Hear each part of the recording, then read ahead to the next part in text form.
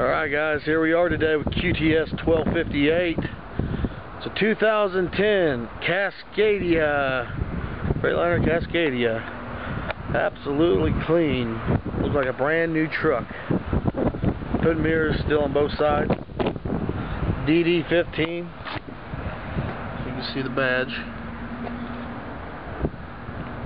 Pretty much jet black all the way through. Windows both sides, top and bottom. Tri-Pac Thermo King units. Brand new quarter fenders. Single rear exhaust.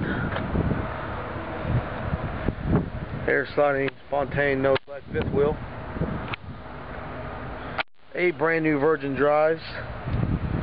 22 fives on all aluminum wheels. Airliner suspension, of course. Super clean frame.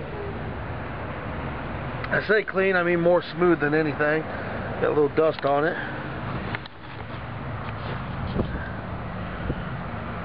Get you a look at everything. Take a look at the brakes back here. Brakes are like brand new. Well, they are brand new. Very, very clean truck. Fully polished aluminum wheels, tanks, steps. You can see very, very, very clean. Block heater as well. Going to go up here take a look underneath the hood.